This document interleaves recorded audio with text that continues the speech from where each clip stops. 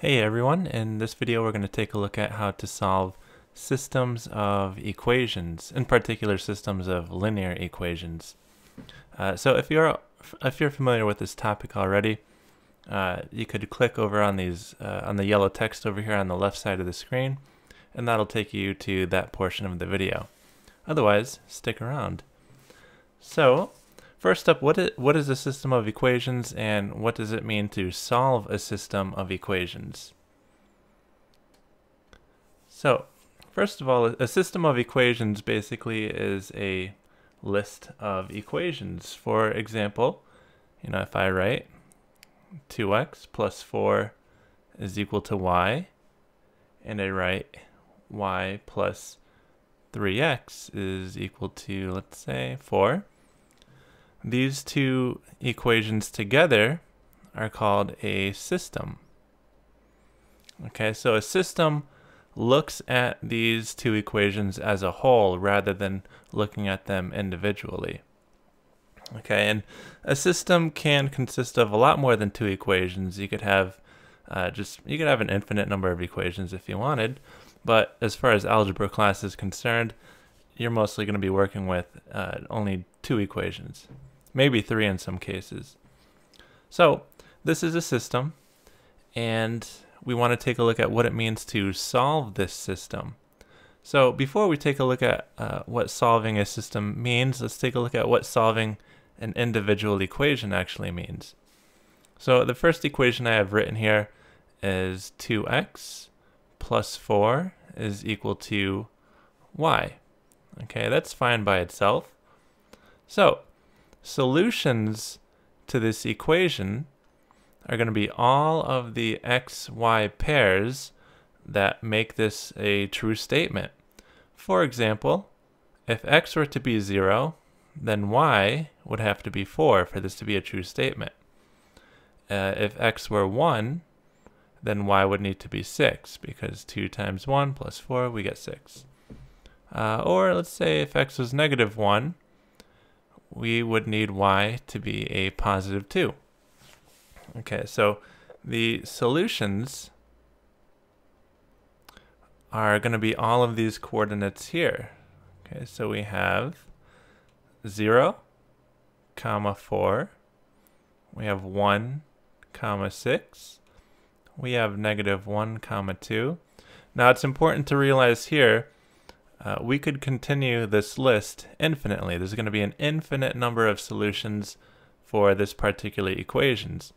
You pick an x value, and there's going to be some y value that's going to satisfy that equation. Similarly, uh, for the second equation here, we have y plus 3x is equal to 4. Okay, so if I want some of these solutions, oops, if I want some of the solutions here, you can pick an x value and see what the appropriate y value would need to be. So if x were, uh, let's say 0, 3 times 0 is 0, and we need the left side to be 4, so that means y would need to be 4.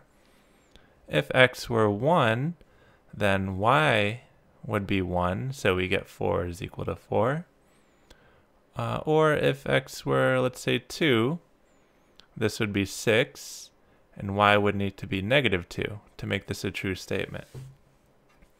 So, the solutions here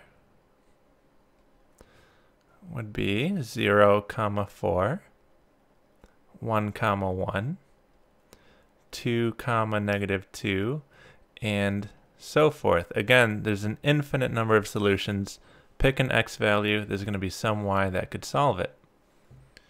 Okay, so now that's solving equations individually.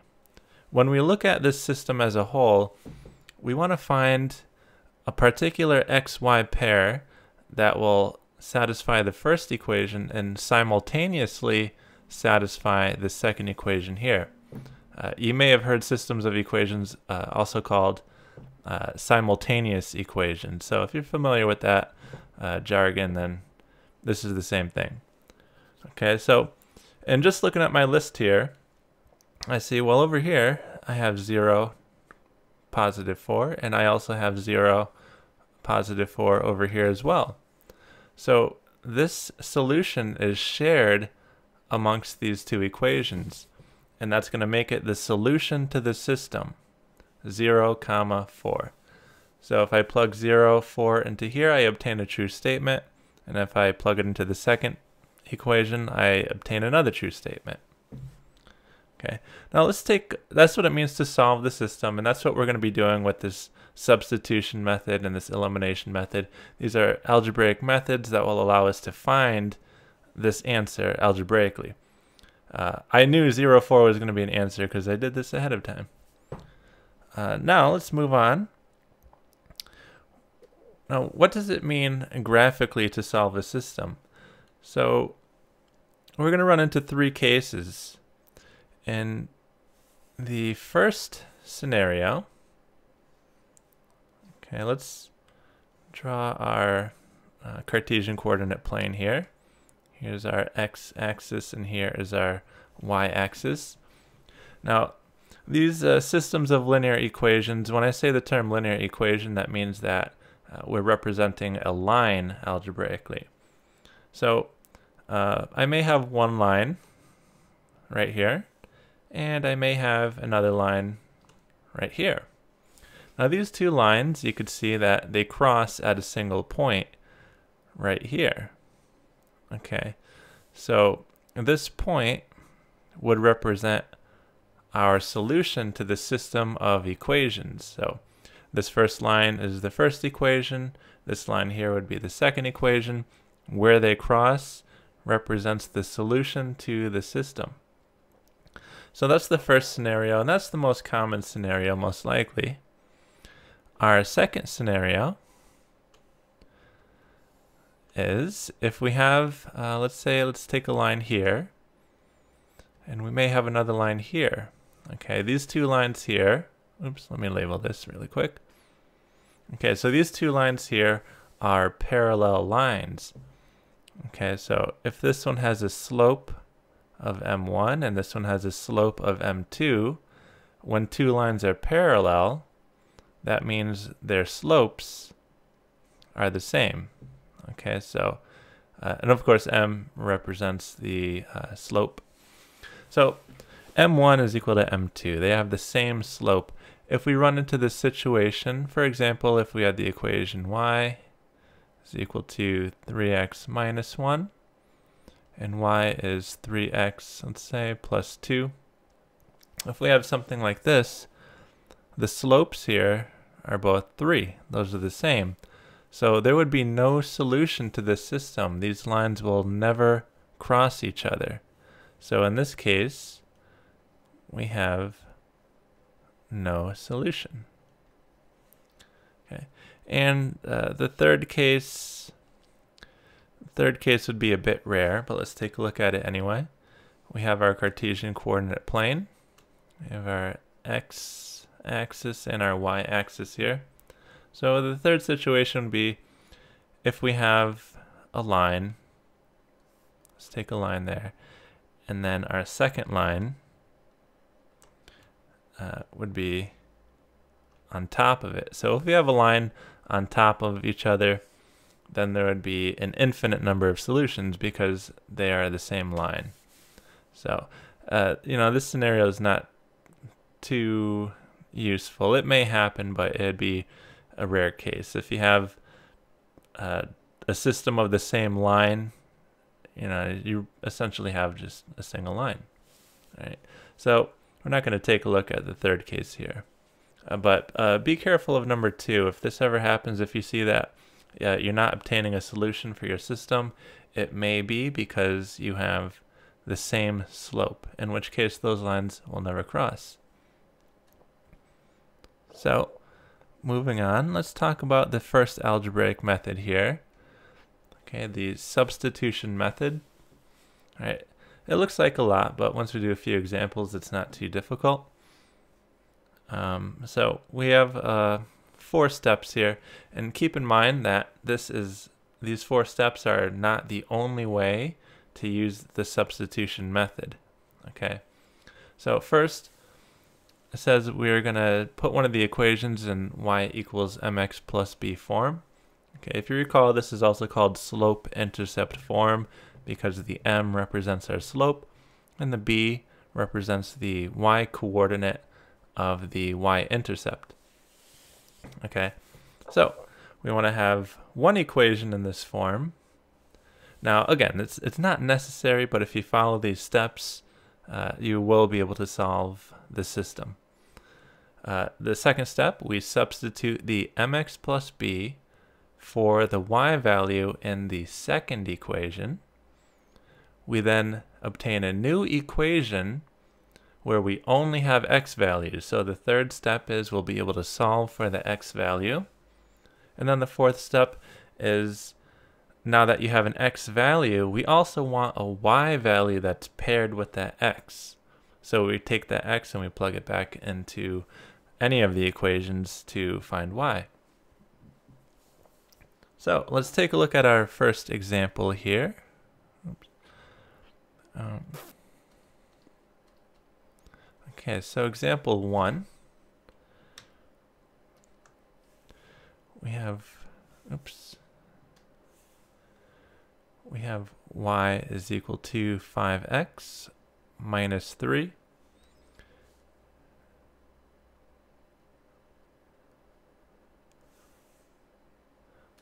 let's let's actually leave that up here. Uh, so we have y is equal to 5x minus 3, and we have 2x plus y is equal to 4. Okay, so step 1, put one of the equations in y equals mx plus b form. Well, in this particular example, uh, it, that's already done. We have y is equal to 5x minus 3. The 5 is m, and the 3 is the b. So that's fine. Step 1 is done. It doesn't matter what's going on down here uh, for, as far as these steps are concerned yet. Uh, the second step, substitute the expression mx plus b for y in the other equation. Okay, so here is mx plus b. I want to take this and I want to substitute it for y in this equation here. So we're going to have 2x plus, now instead of writing y, I want to go ahead and write my substitution, which is 5x minus 3, and this is equal to 4. Okay, so here's my new equation with my substitution. And as you'll notice, now I have a single equation with only a single variable here. So that means I could solve for it. Okay, so uh, step three now, solve the new equation for x. Uh, so to do this, uh, we might want to combine like terms on the left side here. So 2x and 5x, we get 7x. And then we have a negative 3 equal to positive 4. Then we just add 3 to both sides of the equation. We obtain 7x is equal to 7. And lastly, division by 7 on both sides gets us x is equal to 1. Okay, now that's half of our answer. So uh, the solution to the system, we have our x value of being 1. Now we want the y value, okay? Because remember, those solutions came in pairs. There's an x, and then there's a y paired with the x. So right now we have half of our answer. We have the x. But once we get the x valued, it's uh, a bit easier to find the y. So uh, step 4 now substitute this value of x back into the first equation to find the value of y. So our first equation is y is equal to 5x minus 3. Now we know that x is 1, so we're going to use that information. Okay, now I'm going to go ahead and put 1 in the place of x here. All right, and then solve for y. So y is equal to, and we're just gonna we're just gonna carry out the operations here. Five times one is five minus three. Well, that's just five minus three, which is equal to two. So we know x is one and we know y is two. So that means our solution is then one comma two. So if, if we were to graph this, for instance, we would have the lines crossing at the coordinate 1 comma 2. Now what this means is that we could take 1 comma 2, you know, if x is 1 here, so 5 minus 3, we get 2. If x is 1 here, we'd have 2, and we know y is 2, so 2 plus 2 is 4. This gives us a true statement for both the equations, so it solves both of them simultaneously. So this works out just fine. Now let's take a look at example number two. So example two, we have 3x plus y is equal to 3. And we have 2x minus 2y is equal to 10. Okay, so we're going to follow this method again. So put one of the equations in y equals mx plus b form. Now in this case, it's not done for us, so we could either choose the second equation or this first equation here to do that. Uh, it looks like it'd be a little bit easier to do step one using this first equation. So let's go ahead and do that. We have 3x plus y is equal to 3. So to solve for y here, we simply need to subtract 3x from both sides. Okay, and again, that's what we're doing when we uh, find y equals mx plus b form. We're really just solving for y, and it will be in this form. So uh, we we're going to have y is equal to negative 3x plus 3. Okay, or 3 minus 3x, however you write it, it's perfectly fine. So now this is in y equals mx plus b form, so step one is finished. We move on to step two, substitute the mx plus b here into, we're going to take this and we're going to substitute it into y in the second equation. Okay, so we're going to write the second equation, but instead of writing y, we're writing our substitution. So we're going to have 2x minus 2 now in place of y. It's always helpful to put your substitutions in parentheses. Okay, it will never hurt, but if you don't, it may. So we have negative 3x plus 3 as our substitution. Go ahead and close those parentheses. And then this is equal to 10. Okay. So now we have a single equation with only a single variable x, and we could solve for it. Uh, so we may want to distribute the negative 2 inside the parentheses and then combine like terms and proceed from there. So let's see what we get here. We have 2x, uh, so negative 2 times the negative 3x will give us a positive 6x. The negative 2 times the positive 3 will give us the negative 6, and this is equal to 10. Then we can combine like terms here, the 2x and the 6x combine to get 8x, and we have a negative 6 here equal to 10. And then we may want to add 6 to both sides. Right, get those constant terms together. So we have 8x is equal to 16. Lastly, we have the coefficient 8 here, so we're going to go ahead and divide both sides by 8. So we get x is equal to 16 divided by 8, or 2. Okay, so that's half of our answer. We need the y value now that's paired with the x value of 2. So to do that, we can like step 4 says here, we could substitute x back into the first equation to find y. Uh, but really it, it doesn't matter which equation you plug it back into to find y. Uh, but let's go ahead and use this equation here. So we have 3x plus y is equal to 3. Right? This is our beginning point. We now know that x is 2. So instead of writing x, I'm going to write 2 because I know it's 2. And then plus y, that's what we're looking for now, is equal to 3.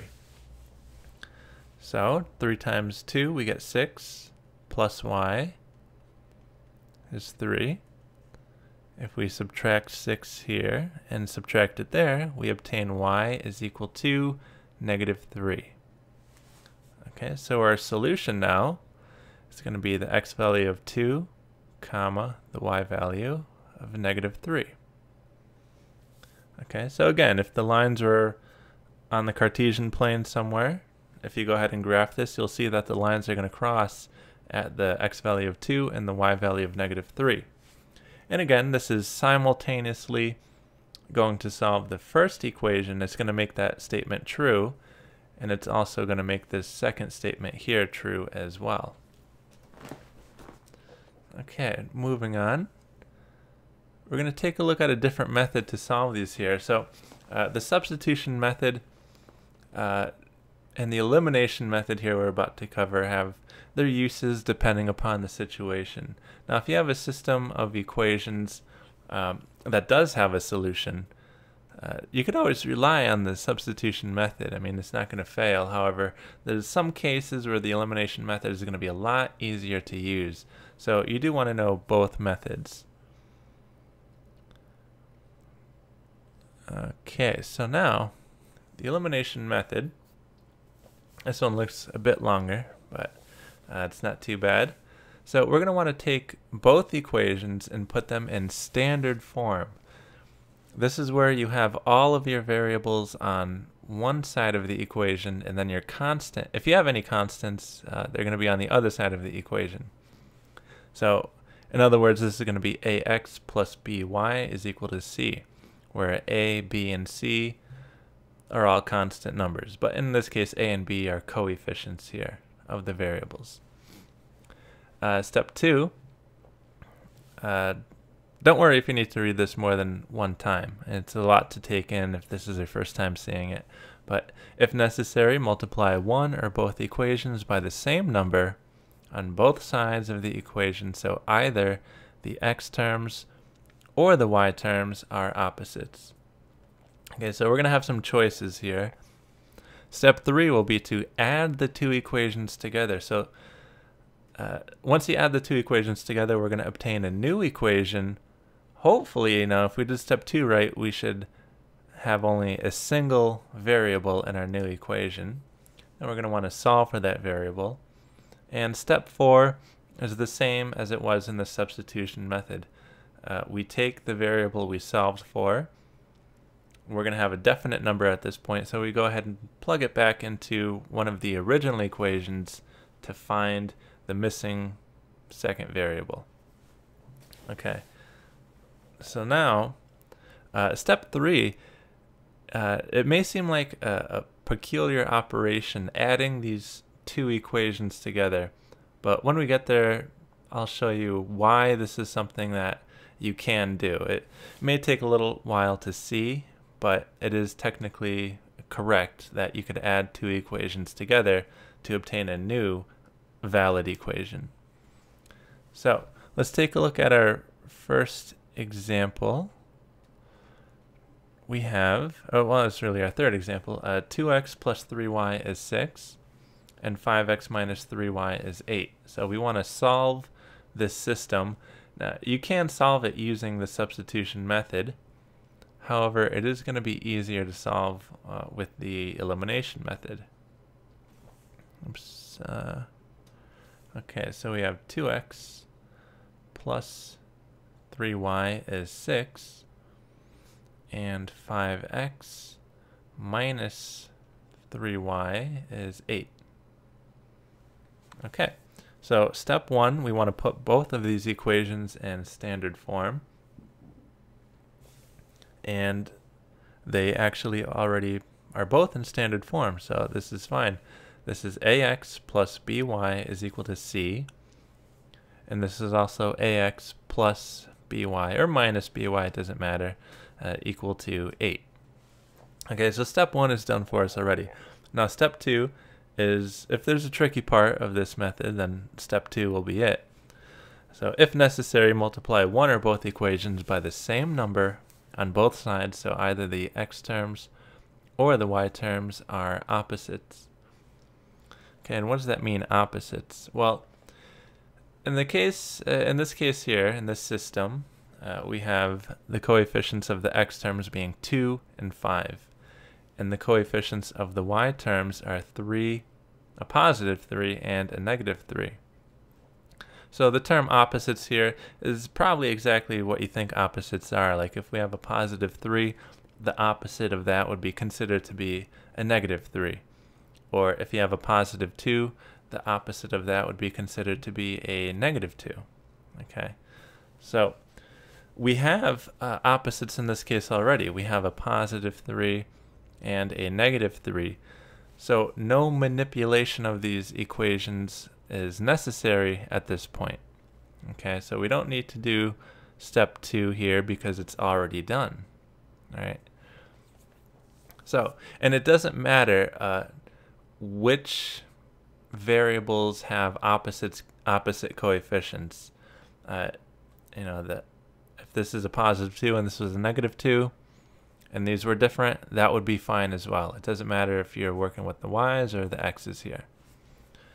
Okay, so once that's done, we go to step three, which is add these two equations together, and we we should get an equation with only a single variable. Uh, that's what these opposite coefficients are going to accomplish. They're going to cancel each other out. So how do we add these together? Well, we take the x's, we add those together, and we get 7x we take the y's, we add these together, so 3y plus a negative 3y, well that's 0y. Okay, let me just write it in there. Although if you have 0y, you don't really need it. That's, that's gone. You know, let me not write that. So these two, when they're added together, that's gone.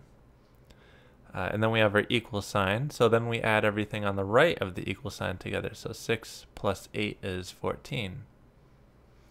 And then division by 7 on both sides here, we get x is equal to 2. Okay, so uh, the elimination method eliminated the y variables. Okay, that's that's what these opposite coefficients accomplished here. They eliminated one of the variables. So we obtain a new equation with only a single variable and we're able to solve for that. So now, this is only half of our answer. We also need to get y. Uh, so, step four is substitute this value of x or y, whatever you just found, back into one of the original equations to find the other variable. So let's just use this first equation. We know that 2x plus 3y is equal to 6. And now we know that the x value is equal to 2. Okay, wherever the lines meet, we know that the x value is going to be 2. Okay. Oops. Uh, all right. Now, so 2 times 2 plus 3 times y is equal to 6. 2 times 2 is 4. And then we have a 3y and a 6. So to solve this, we're going to move our constant numbers to this side. And we get 3y is equal to 2. Now division by 3 on both sides. We get y is equal to 2 thirds. Okay, so the solution of this system of equations has an x value of 2 and a y value of 2 thirds. We can check this. Uh, if you plug this value into the first equation, we should get a true statement, uh, which we would get 4 plus 2 is 6 by plugging in the 2 and the 2 thirds.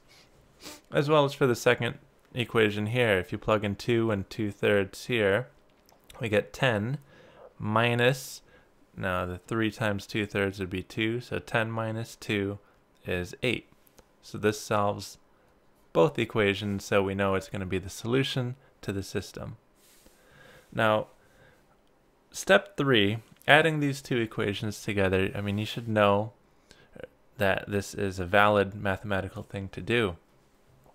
Okay, so uh, think about what we're doing here. We have 2x plus 3y is equal to 6, and we have 5x minus 3y is equal to 8.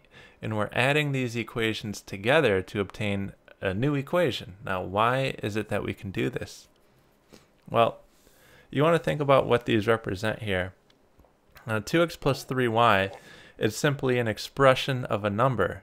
In fact, we know what that number is. We know that it's 6. And what we're doing when we add this to this side here, we have 5x minus 3y. And when we add this first equation, when we add 2x plus 3y to this equation here, essentially what we're doing is we're adding in a 6. And originally we had an 8 over here. And what we did to the 8 was we added a 6. Okay, so adding these two equations is essentially like you're adding 6 to both sides of the equation, which, as you know, is, is a fine thing to do. If you manipulate one side of the equation, you would do the same manipulation on the other side of the equation as well. So, uh, step three, adding these two equations, it's a perfectly fine thing to do. And um, yeah, you, may, may have to think about it just a little bit uh, to understand that this is fine, but it certainly is. So moving on now, we're going to have the last example here. We have 4x. Oops. We have 4x plus 3y is equal to 29. And we have 3x minus 2y is equal to negative 8. Okay, first of all, if we want to use the elimination method, I mean, you could use the substitution method as well. Uh, you could use graphical methods as well to solve these systems. But if we know that we want to use the elimination method, we want to take both of these equations and put them in standard form. And these are both already in standard form. Uh, ax plus by is c, and ax plus by is c. So now, step two, if necessary, multiply one or both equations by the same number on both sides to obtain those opposites. Now, in this case, it says uh, multiply one or both equations. In this case, I mean, you could manipulate one equation using fractions, but if you want to avoid working with fractions here, we're going to have to uh, manipulate both of these equations somehow. So let me show you an example. If we decide we wanted to eliminate the y variable, we would want this coefficient to be the opposite of this coefficient here. So how can we do this? Well, 3 and 2, they both go into 6, right? What would you need to multiply 3 by to obtain a 6 here? Well, we need to multiply it by 2. So, if we want this to be a 6, we would have to multiply the first equation by 2. Right, so 2 times all of that. And now if we want to obtain a equivalent statement, we need to make sure that we multiply both sides by 2. Okay, so in this way, we're not changing uh, the equation in any way. Okay, we're just changing the form in which we see the equation. It's still the same equation. So what we have here now is 8x plus 6y, that's what we get from distributing, equal to 58. So 2 times 29. Okay, great. So we have a 6y here. Now we're going to work with this second equation if we want a 6 to be here, well, really what we would want is a negative 6, right? We want the opposite of this value here. So we want a negative 6. So to get that, we would multiply this equation by 3. Okay, and we do that on both sides of the equation. Okay, and when we do that, let me just do an arrow here. When we distribute the 3, we get 9x minus 6y is equal to negative 24. Okay, and let me rewrite this down here. So 9x minus 6y is equal to negative 24. So you see, uh, we can manipulate equations like this uh, to see whatever we need to see in order to do this elimination method here. Now, if you wanted to work with fractions, um, you could have just multiplied this uh, this first equation by positive two thirds, and by doing that, we would obtain a, a positive two here. Okay, but our other numbers may be a little bit messier. So uh, if you want to avoid the fractions, you could do it like this too. And what I found, this value of 6 was the least common multiple. You don't need to find the least common multiple either. Uh, but something that, that both of the numbers would go into, like 12, for instance, would be fine. If you multiplied this by 4 and this by a positive 6, we would have a positive 12 and a negative 12, and then you'd proceed from there. So now that we have these opposites, right, we have a positive 6 and a negative 6 for the y uh, for the y variable, we can move on to step three. We add these equations together to obtain a new equation. Okay, so let me add these. So the 8 and the 9x would give me 17x. The positive 6x and the negative 6, I mean the positive 6y and the negative 6y cancel. And on the right side of the equal, 58 plus a negative 24 would be 34.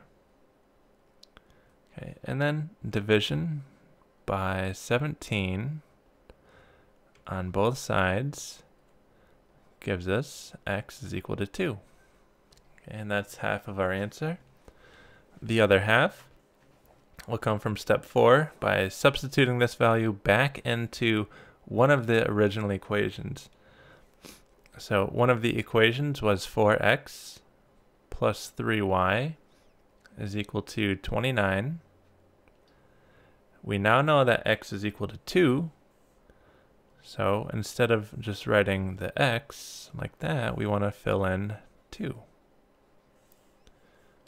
and then we proceed to solve it for y. So plus 3y is equal to 29. So 4 times the 2, we get 8. Now to solve this here, we want to move all our constant numbers to one side. So we're going to move this 8 here. So now we have 3y is equal to 21. And I'm running out of space, but division by 3 on both sides gives us y is equal to 7. Okay, so we now know the solution to the system would be 2 comma 7. Okay, now in these four cases here, these four examples, we didn't run into any of the special cases where uh, we have no solution or an infinite number of solutions. I mean, those are mostly exceptions, and you just want to be aware of them, okay? Uh, so, you know, if we had a system of equations and these equations had the same slope, you're not going to be able to do these uh, two methods here. You're going to run into some uh, inconsistency where you can't solve for any of the variables. Okay, in that case, you just say you have no solution. All right, so uh, I hope you enjoyed this video, and I'll see you in the next one.